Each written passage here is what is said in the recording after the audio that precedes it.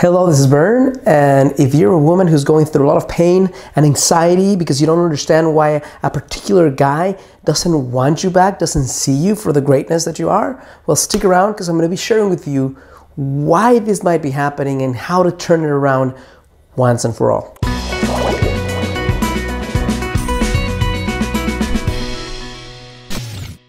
Hello, this is Bern. Welcome to your greatlifetobe.com.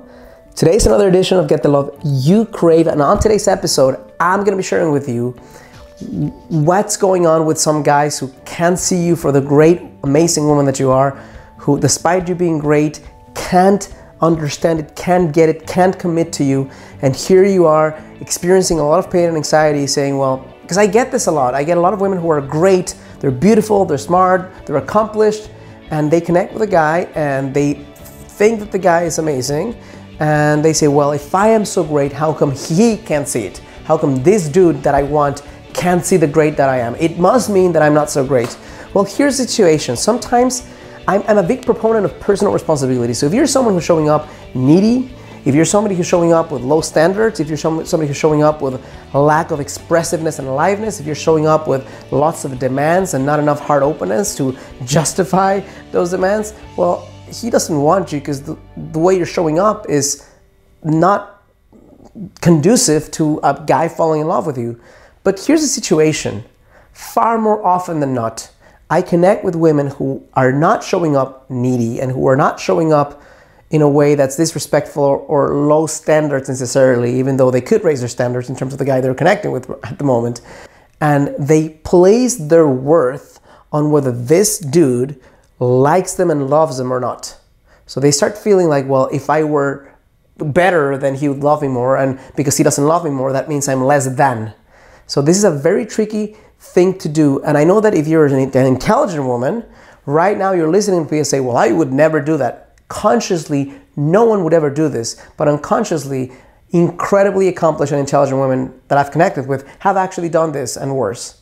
So if you're in that situation and you're not showing up with lack of expressiveness and lack of magic, and the guy doesn't want you back, perhaps, just perhaps, the dude is a douchebag. or perhaps the dude is someone who's non committal, or perhaps the dude has mommy and daddy issues, or perhaps the dude is someone who is not willing to go the distance with himself, much less with you.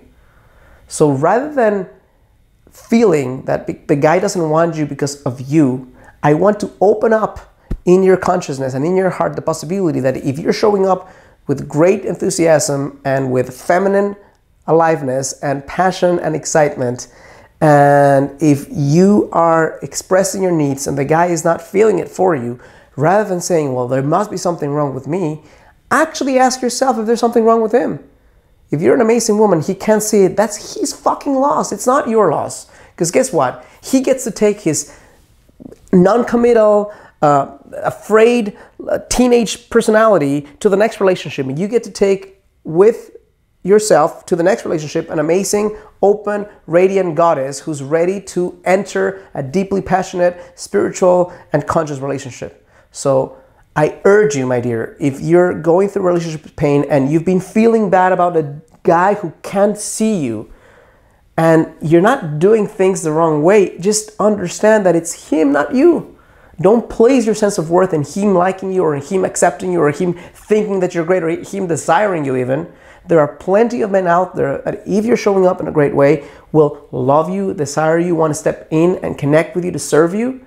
It's just not this dude. So stop creating a fantasy and mythology about the greatness of this guy. If this guy were so great, he would have the capacity to see the greatness that you have. And if he doesn't, then perhaps, just perhaps, he's not as great as you think he is. Hope this is helpful, useful, insightful. If it is, I'm gonna ask you to do three things. Number one, click like on this video or thumbs up. Number two, subscribe to my channel, hit the subscribe button.